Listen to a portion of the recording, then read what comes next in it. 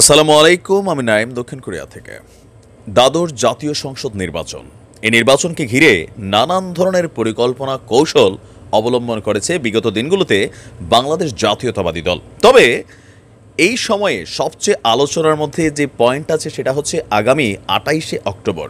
গনে গনে আমাদের হাতে আর তিন দিন সময়।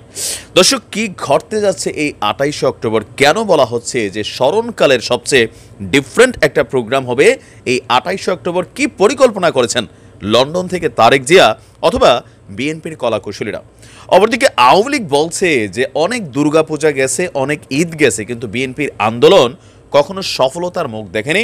বাট বিএনপি বলছে দিস ইজ ডিফারেন্ট স্টেজ এইবার আপনার যেই জিনিসটা ঘটতে যাবে সেটা হবে ডিফারেন্ট তবে এক্ষেত্রে প্রশাসনের সহযোগিতা লাগবে। কারণ যখনই বিএনপি বড় ধরনের কোনো কর্মসূচি দেয়, তখন প্রশাসন থেকে সহযোগিতা পায় না এমনটাই বক্তব্য। তবে আজকে ডিবি প্রধান হারুন ভাই, তিনি কিন্তু বলছেন যে না, আমরা বিএনপির এই মহাসমাবেশ ঘিরে নেগেটিভ কোনো ইস্যু আমাদের মাথায় নেই বা আমাদের কাছে তথ্যই নেই। আগামী আটাইশে সরি অক্টোবরের এই প্রোগ্রাম ঘটতে পারে। তো আসুন কি ঘটাতে যাচ্ছে বিএনপি?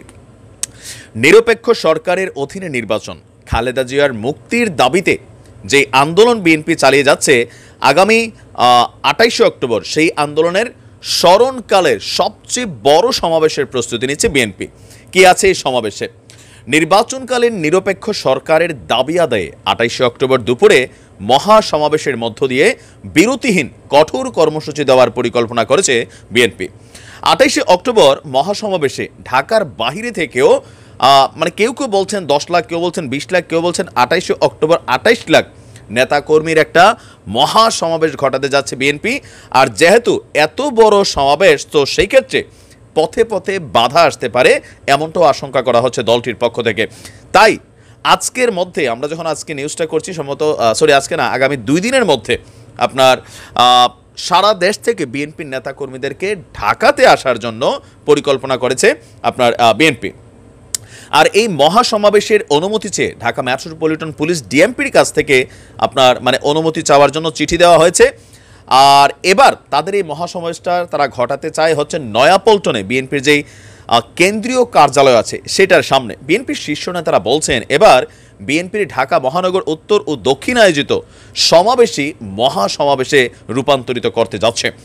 ষোলোই অক্টোবর থেকে যুব সমাবেশ যেটা শুরু হয়েছে, সেটারই একটা চাঙ্গা চাঙ্গা ভাব মার্কেটে আছে, আর এই চাঙ্গা থেকে আগামী নির্বাচনকে আরও শক্ত অবস্থানে নিতে বা তত্ত্বাবধায়ক সরকারকে অ্যাস্টাবলিশ করতে এটা হতে যাচ্ছে সবচেয়ে বড় একটা অ্যাক্টিভিটিস সারা দেশ থেকে লক্ষ লক্ষ নেতাকর্মী তারা এখানে অংশগ্রহণ করাবেন আর আটাইশ অক্টোবর হবে বিএনপির নেতাকর্মীদের নিজেদেরকে জাহির করার দিন, সরকারকে দেখিয়ে দেওয়ার দিন, দাবি আদায়ের দিন।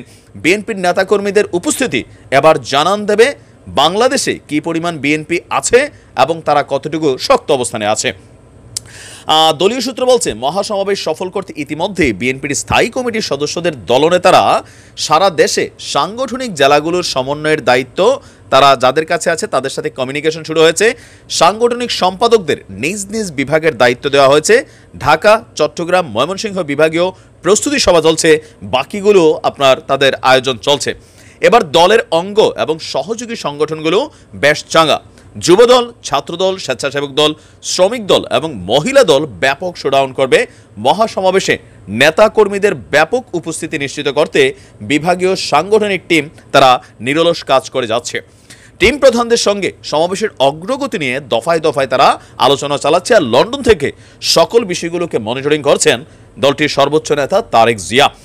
মহাসমাবেশকে সফল করতে বিএনপি এবং অঙ্গ সংগঠনগুলো প্রতিদিন ধারাবাহিকভাবে ভার্চুয়ালি কথা বলছেন তারেক জিয়ার সাথে। প্রয়োজনে মাঠ পর্যায়ের নেতাকর্মীদের সাথেও তারেক জিয়া সরাসরি কথা বলছেন। মির্জা ফখরুল বলছেন, আগামী আঠাশ তারিখ শনিবার ঢাকায় মহাসমাবেশ হবে। এই সমাবেশ থেকে আমাদের মহাযাত্রা শুরু হবে। তারপর সরকারের পতন না হওয়া পর্যন্ত আমরা থেমে থাকব না ইনশাল্লাহ। বাট আওয়ামী লীগ বলছে যে এই আওয়াজ টাওয়াজ দিয়া কোনো লাভ নাই, এমন আওয়াজ অতীতেও দেওয়া হয়েছে। গত বছরও দশই ডিসেম্বর যেই পরিণতি হয়েছে, এর থেকে ভালো কোনো কিছু এখানে হবে না। সুতরাং আওয়াজ দিয়া লাভ না একটা টান টান উত্তেজনা।